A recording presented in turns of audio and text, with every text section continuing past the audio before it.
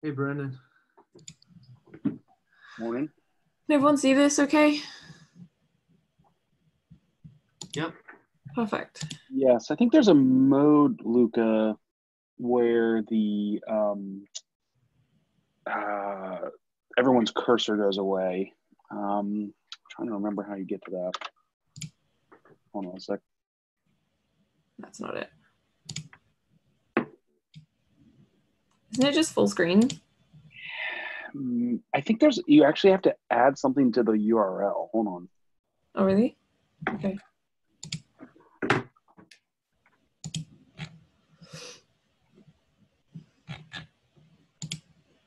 Yeah, I'll send you the link. It's the view for web version. That's what I just did. You did view for web? Yeah. Although I think I just broke it. Yeah, click the click the link I just sent. It's like slash pub for publish. I just sent you the link in the thread on the um, product channel. Thanks. Can you, can anyone hear me? Yes. Yeah. Hey, James. Loud and clear. All right, something is not working for me. Uh,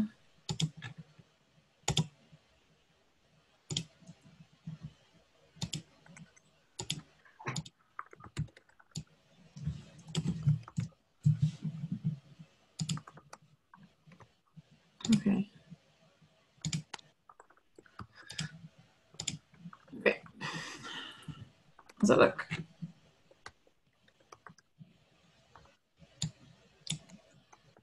That's great. Yeah, that's Cool. that's the one I like to use.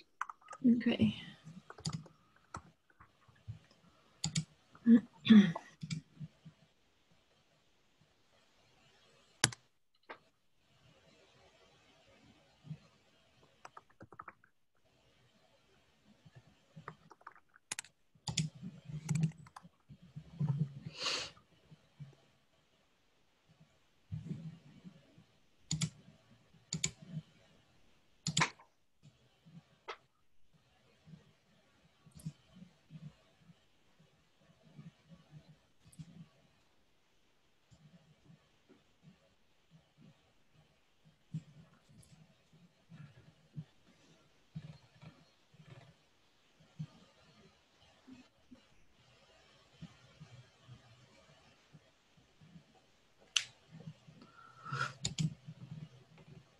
Can you hear me all right?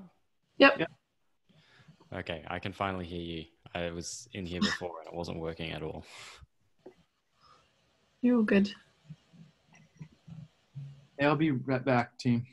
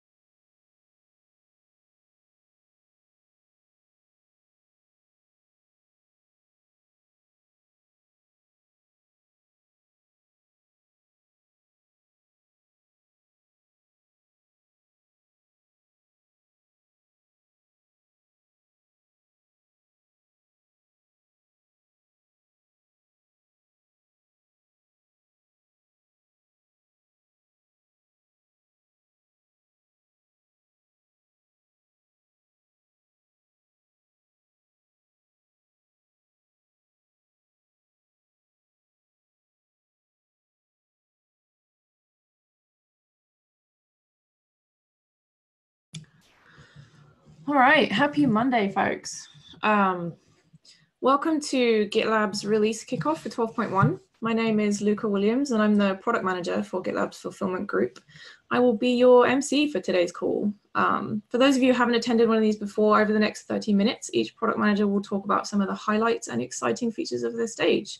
I'd also like to welcome Scott Williamson. He's our new VP of product. I think this is his first kickoff call, right, Scott? It Um, is. Yeah, thanks. Happy to have you.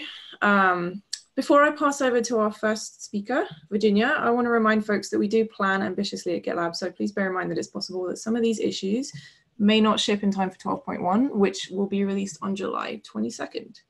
Over to you, Virginia.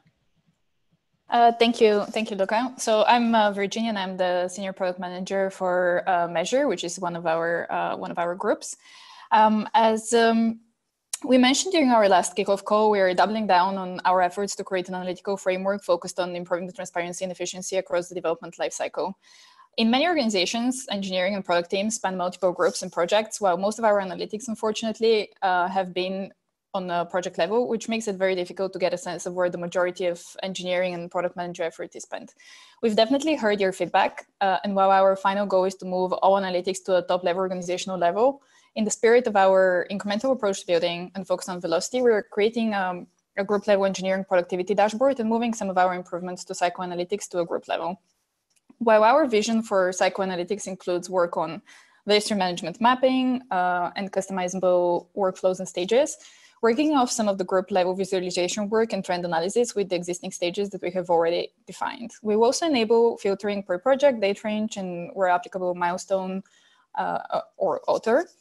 Um, and the third, uh, the third issue that we have here is productivity analytics. Um, we believe that by deep diving uh, into productivity analytics, the engineering will basically allow engineering managers to understand how well they're deployed, deploying resources and spot patterns across individuals and projects. Productivity can slow down for many reasons, ranging from degrading code base to positive things like quickly growing teams. And we're thrilled to start the journey on how to best convey important problematic or exemplary patterns across individuals and teams. The first version will be an MVC and will involve mainly histograms and trends focused on the time to complete an MR, but we have a very long way ahead of us. Um, because of that, we, we ask you um, to please comment and provide us any, any feedback is welcome. Thank you very much. Thanks, Virginia. Who doesn't love data, huh? Um, over to Eric for plan. Yeah, thanks, Luke. I appreciate that. Uh, so for plan, we've got a number of improvements coming to both boards and epics.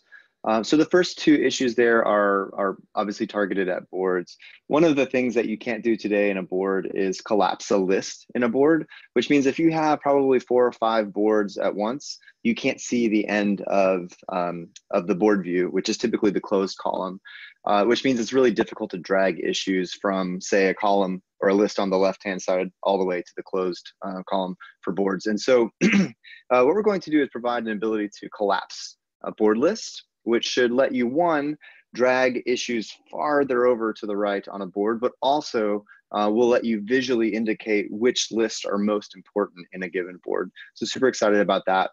And then in addition to, to uh, improvements uh, on collapsing lists, we're also going to let um, our users move multiple issues at the same time uh, amongst board lists.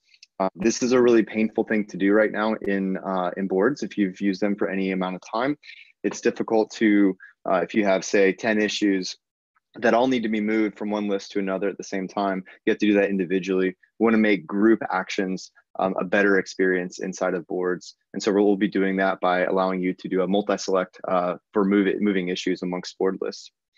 We also have a number of epic improvements coming, uh, primarily starting with um, inheriting epic due dates. So one of the things we, we didn't do when we um, released child epics a few months back was allow the children to uh, give their due dates to their parents. And so in this release, um, parent epics will inherit their children epics due dates, which will allow for much better project management all the way down to the issue level.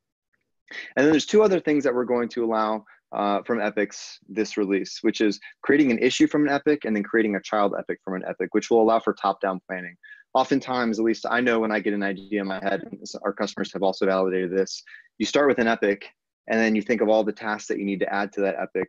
And right now, that's a very disparate and, and confusing, disorganizing experience in GitLab where you have to go make a bunch of issues, and then you have to kind of make sure that you have the issue links, um, you know, up in, in other tabs, and then you copy and paste those, and you add those as related things in, into an issue or uh, in an epic. Uh, and what we're going to do here is we're going to let you very easily make and create a top-down plan, starting with an epic, adding a child epic if you want, but then absolutely going into issues, so you can step out an entire project very easily. Luca, over to you for fulfillment. Thanks, Eric. Some really exciting stuff happening in, in Plan by the looks of things. Um, so for fulfillment, uh, we're making some further iterations on notifications for our CI runner minutes um, add-on purchases. So we are currently working on trying to implement how users can uh, be notified in, in various different ways once they're about to hit their quota limit, which is going to help big time when um, people are running lots of pipelines um, and constantly hitting those limits. We want to be able to let people know in good time. Um, and then the second one is self-service upgrades for GitLab.com users. Uh, up until now, we have not had the ability for users to upgrade their GitLab.com plan by themselves. They have to reach out to a GitLab team member. So I'm really excited to announce that we're going to be able to do this pretty soon. Um, over to James for Create. Thank you, Luca.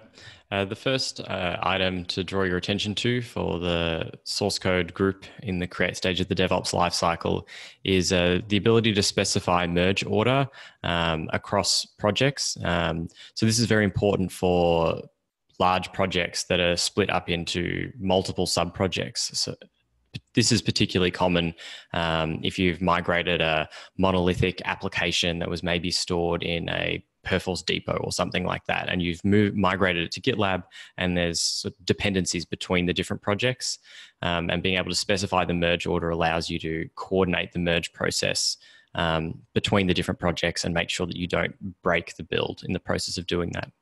Um, so we're hopeful that the first iteration will ship in 12.1 the next issue is um, with regards to providing a streamlined approach for resolving confidential issues through a confidential merge request. And the way we're doing this is using a fork um, that's private. And so resolving confidential issues in a confidential way is really important for open source projects. Um, it's critical when a security vulnerability is reported that in the process of fixing it and resolving the issue that you don't leak the issue itself. Sometimes it can take quite a while to find the right fix and make sure that it's fully tested and mitigated. Um, and so, using a private fork, uh, there's going to be a streamlined confidential merge request workflow. And finally, a frequently requested um, and really great improvement to code owners is coming. Currently, you can specify list of people that are responsible for different areas of your code base, but you'll also now be able to specify groups. Um, and when you use a code owners file, you can see the ownership when you browse the repository, and it also automatically assigns um, and requires approval depending on your configuration for merge requests uh, when using a code owners file. Kai, over to you. Thanks, James. So uh, for the editor group, inside of the create stage, uh, we're going to continue working on live preview in the web IDE in 12.1. So um, we've got a lot of exciting things here happening with being able to uh, mirror changes that happen in the web IDE, output those to the terminal and render that in real time, um, which should make editing and working on projects and doing tests um, that much better inside of the web IDE. So we're continuing to work on that. Uh, in the knowledge group of the create stage, we're continuing the work on design management. So we're shipping uh, a very small MVC in 12.0 that allows uh, users to upload um, designs. Um, and along with that, we now are going to continue iterating and adding uh, comments and discussions to those items. Uh, and then the other thing that we're bringing into the knowledge stage is the previous version. So as these discussions happen and changes are made, it's very important that those conversations continue to happen and we are able to compare the changes that happened on previous versions to the new versions to make sure the right changes are being made uh, as those designs continue to move along. So on to Brendan for the verify. Great, thanks Kai. Uh, so there's two issues uh, that we're really delighted to be bringing uh, with Verify this time around. Uh, the first is the generic executor for the GitLab runner. Uh, this is something that's going to be an extremely powerful primitive that we're hoping uh, to use for a couple of known use cases, but we also think is going to uh, expand the use cases for GitLab CI and the runner in general. Uh, what this will allow folks to do is to prepare and modify the environment prior to the running of the runner. This will allow people that have maybe hardware or licensed software that we might not have access to as maintainers of the GitLab Runner project to expand GitLab Runner and use it in those environments. So use cases such as high performance computing, uh, virtualization tools that we don't uh, use or own here at GitLab, uh, this will open up the ability for users to use the GitLab runner uh, much easier and more effectively in those environments. Uh, second is group, group level required CI jobs for uh, requiring and include at the group level. So in GitLab 12.0, we brought the ability to require um, uh, jobs at the instance level. Uh, this will allow folks to have an auditable trail of a job that runs on every pipeline. Uh, but bringing it to the group level makes it more flexible for our self-managed users and also enables our GitLab.com SaaS users to use this feature. So uh, we're really uh, thrilled to be bringing that uh, in 12.1. Luca? Thanks, Brendan. Um, over to Tim for package. Thanks, Luca. There's two features which I'm really excited to share for uh, our upcoming milestone. The first is add support uh, for C, C++ developers to build, deploy, and publish their packages to our package registry on GitLab. Um, so if you're a C or C++ developer and you start using this MVC, I'd love to hear from you um, and get more feedback, how we can make that feature more useful in the future. And the second is we're starting to improve our NPM uh, integration. We've heard a lot of feedback about users having problems with it, not being able to use it from subgroups. So this issue will enable uh, organizations that are taking advantage of groups and subgroups to be able to publish and deploy NPM packages. So hopefully this helps a lot of people unblock or unblocks a lot of people from using this feature. That's it for me, Karina. Awesome, Tim. Thank you. Over to Karina for release. Thank you. Uh, yes, in release stage, we are excited to bring forward a few new capabilities, um, starting with the parallel execution strategy of merge trains. Um, if some of you remember from our last release, this is the, the next iteration of our merge trains MVC. Um, in the last release, the MVC was first uh, focused on the sequential uh, train of MRs, meaning one at a time. In this release, we are moving towards a more efficient target method in managing trains that will allow sequenced MRs to run in parallel pipelines with the initial working assumption that all will pass to maximize the uh, pipeline time. Um, to ensure we're not allowing a failed change in the train, we will maintain an orderly delivery to the target branch by not allowing the failed items and previous in the train to merge. Instead, a new train calculation and order will occur which will recognize the first non-failing item is now the first in the train, um, canceling the failure point in its previous train. Um, this is uh, a, the great next step to what we were really working towards. Um, the previous MVC of the sequential uh, was really just a you know starting point, and now this is uh, landing us uh, in an exciting addition to drive efficiency in our pipelines at scale, and something we're excited to bring in this upcoming release. Um, another item that we're excited to bring forth, uh, which is a stage of our progressive delivery, is the user ID-based access for feature flags. Um, so this is a great uh, addition in the fact that we will allow, um, today you have feature flags that you can turn on and turn off. Um, another important step of that is being able to manage uh, the users who have uh, the ability to see and experience those features. Um, so what we'll allow is user IDs uh, through an API uh, called Unleash um, that will allow um, you to add your users. They don't have to be GitLab users, um, the way that it's executed, um, to be uh, enabled uh, for that feature in that environment. Um, and this will allow for very targeted testing and potentially for um, progressive delivery in future Canary releases. So that's pretty exciting. Um, also, we have the pre-release status for releases. So today, um, not just for our users, but also our GitLab team, um, we would like, you know, we most likely the ability to start defining uh, a release and making it visible before it's truly ready uh, to be uh, to be committed. And so what we're going to do is we're going to add the ability to um, create a draft release and tag that um, so that similar to how we do roadmaps, we'll able to start to formulate uh, our draft releases um, versus uh, fully committed release.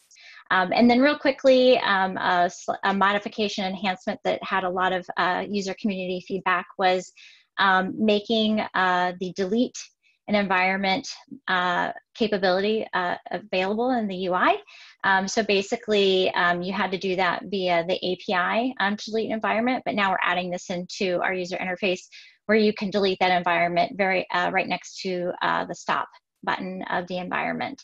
Um, so really exciting release for us um, moving forward in um, the release stage of some key things for our strategy. So we're excited. Thank you. Back to you, Luca. Thank you. Um, so we actually don't have anyone to cover for secure today, unfortunately. So we're going to skip over that and go straight to configure. Daniel? Thank you, Luca. Um, so I uh, we're excited to begin work on bringing Knative at the group and instance level for your Kubernetes cluster. So this means that you will be able to deploy those apps that scale themselves up and down to zero um, at, at, the clusters that you have installed at either group or instance level.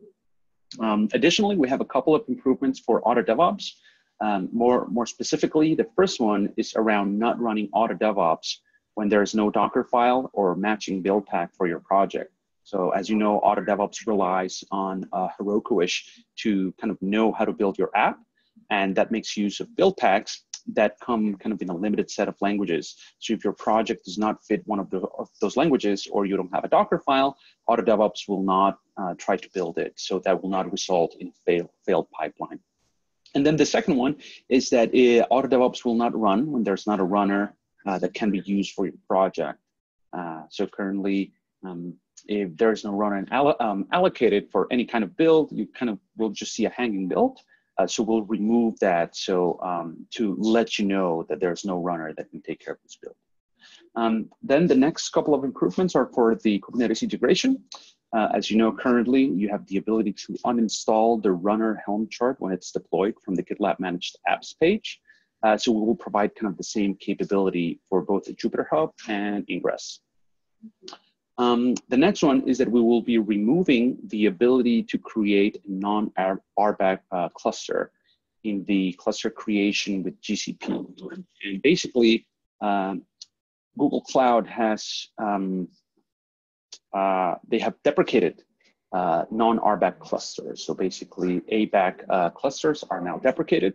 Uh, so we want to remove that capability in the front end so you get the most uh, secure cluster possible. And then the last one, it's um, a security um, improvement uh, for the deployment of Knative, uh, which will allow the use of gVisor. And gVisor is a technology that sandboxes your containers so they don't have access to one another. So could they run in a more secure way and prevent uh, you know, any kind of security threat where if someone breaks out of the container, it would have access to the neighboring containers. Um, uh, so we will uh, um, implement the use of the security feature in Code. And that is all for the configure team. Back to you. Thank you, Luca. Thank you. Over to Sarah for monitor. Thank you, Luca. My name is Sarah Waldner, and I am a product manager for the monitoring team. So I've got two main themes for what we're going to be working on this month. Uh, the first two issues have to do with enriching issues with content and different actions. So this will be the first wave of enrichment that we're doing. We will be adding the ability for users to link and then embed metrics visualizations directly in an issue. So this is going to be focused on our incident management product category. Instead of having to navigate away from the incident in question during a firefight, if you're working with a team to resolve an outage, you're going to have access to those metrics directly within the issue, showing you exactly what happened and how you might resolve that. You also have access to navigate to the metrics dashboard for a bigger picture vision of what's going on. And the second one, both uh, vital to our incident management initiative for 2019, but also useful across all of our stages, those that depend upon issues for workflows, is the ability to embed Zoom calls directly in an issue. So this is going to look like a user generates a Zoom link and embeds it in the description of the issue.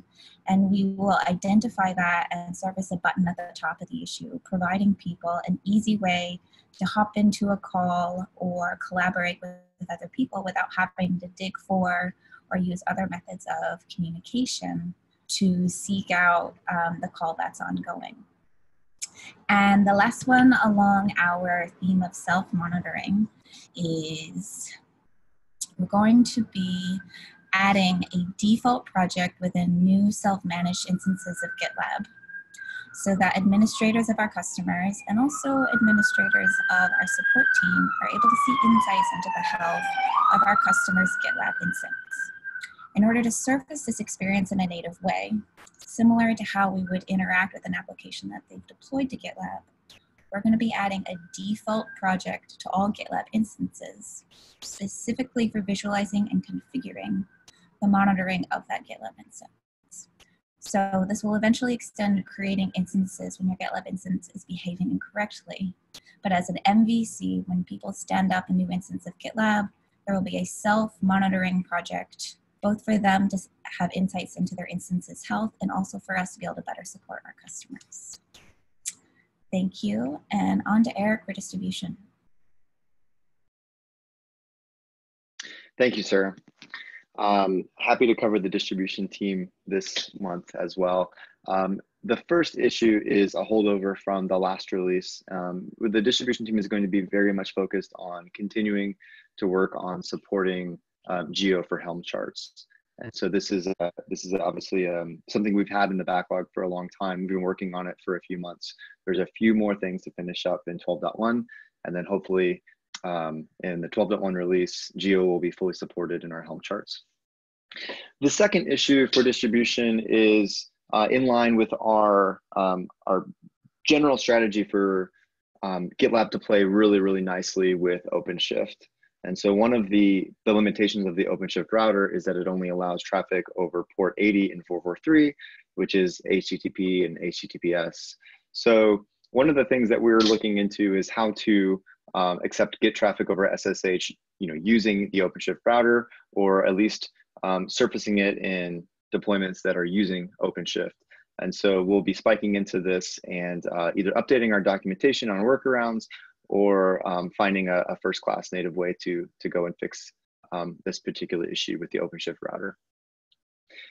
I also have the next group, and I wanted to just quickly level set and introduce the group. This is the first time that the memory team has has been referenced in the uh, in the in the release call here, uh, or the kickoff call. Uh, pardon me.